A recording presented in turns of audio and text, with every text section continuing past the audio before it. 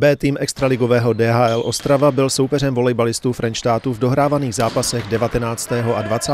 kola přeboru Moravskosleského kraje. Rezervu Ostravy tvoří hodně mladí hráči, v tabulce je poslední a v tmavých dresech hrající Frenštát měl od prvních míčů převahu. Hned na začátku této úvodní sady prvního utkání získal dostatečný náskok. Trenér Ostravy si vyžádal oddechový čas a po něm se jeho svěřencům podařilo na chvíli převzít iniciativu. Snížili sice frenštátské vedení, ale koncovka patřila opět domácím volejbalistům. Ti vyhráli i druhý set. Ve třetím si vybrali jedinou slabší chvilku celého dvojzápasu a dovolili hostům snížit na 2-1. Ve čtvrté sadě už opět královal Frenštát a první duel vyhrál 3-1. Ve druhém střetnutí už Bčku ostravského DHL nepustil ani jeden set, porazil je hladce 3-0. V 11 členné tabulce krajského přeboru je Frenštát šestý. Soutěž pokračuje až v březnu prvními jarními koly. Volejbalisté Frenštátu začínají ve Štramberku. Doma se představí 10. března, kdy hostí Jiskru Rýmařov.